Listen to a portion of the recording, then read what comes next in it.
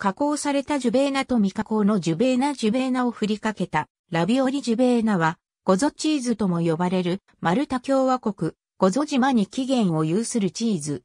円形に形成されることが多いチーズで、原料は羊乳か、ヤギ乳に塩とレンネットを加えたものである。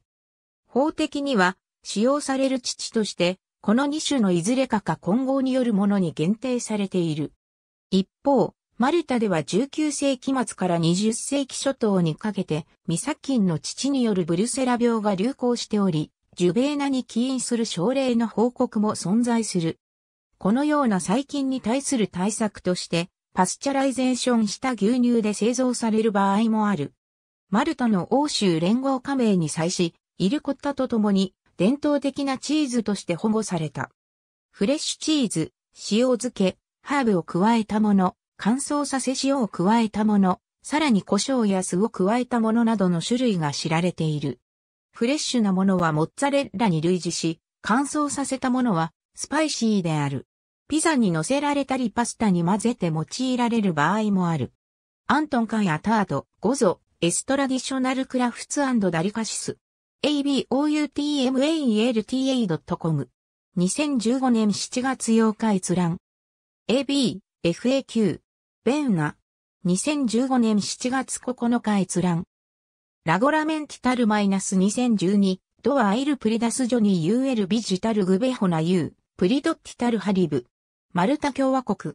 ピアニッシモ12,947から12,964。2015年7月9日、閲覧。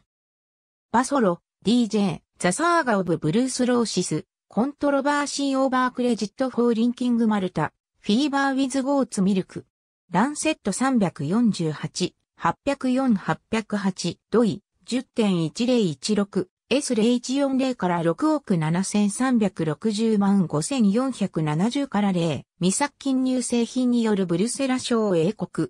国立感染症研究所感染症情報センター、病原微生物検出情報事務局。2015年7月9日閲覧。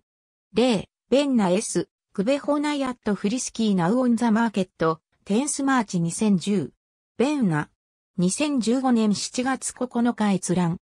エドワード・デミコリー、カーメル・アタード、ザ・セーフティー・オブ・アグリカルチュラル・フード。アゴーノット・スペシャル・エディションに http コロンスラッシュスラッシュ www.musac.gov.mount スラッシュファイル .aspx f イコール1848 2015年7月9日閲覧マルタ A ロット・オブエーグッドシング、ジェイミー・オリバー。2015年7月9日閲覧。ありがとうございます。